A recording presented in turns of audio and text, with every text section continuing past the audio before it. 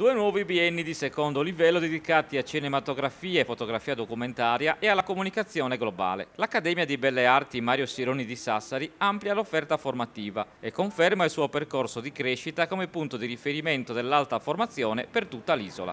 È l'unica ehm, accademia presente nel territorio della Sardegna come punta apicale dell'alta formazione artistica e di questo ne siamo coscienti, abbiamo tutto il peso di questa responsabilità. I corsi e le proposte di studio costituiscono un'importante opportunità sotto il profilo della formazione artistico-culturale degli allievi, in costante aumento. Le aspettative sono sempre legate a un trend di crescita che è in piedi già da diversi anni, sostanzialmente da quando ho preso la direzione di questa accademia.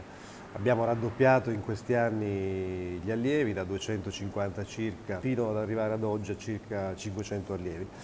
Eh, Quest'anno ci aspettiamo una ulteriore crescita anche perché sono stati aperti, apriamo due nuovi bienni. Un corso in didattica dei territori e comunicazione globale e un corso in cinematografia e fotografia documentaria.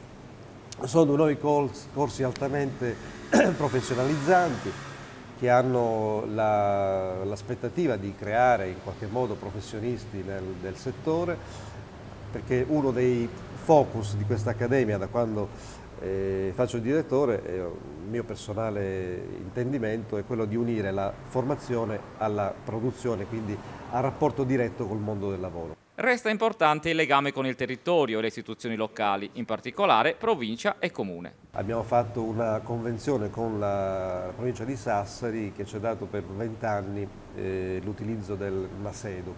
Eh, L'altro spazio che stiamo aspettando eh, dove c'è un'interlocuzione ancora aperta è la stecca adiacente a Via Diaz dell'ex mattatoio in cui è previsto un corso di restauro con valore abilitante.